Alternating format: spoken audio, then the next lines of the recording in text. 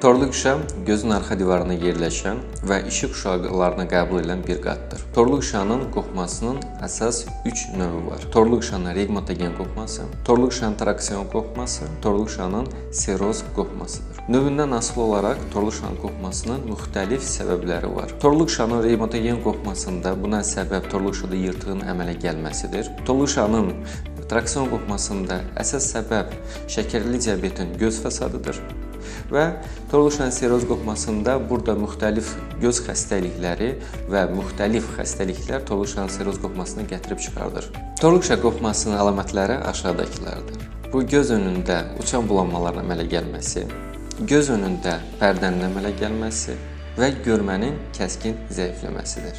Torluq şanın diaqnostikasında qızıl standart biomikroskopiya, oftalmoskopiya və ultrasəs müayinəsidir.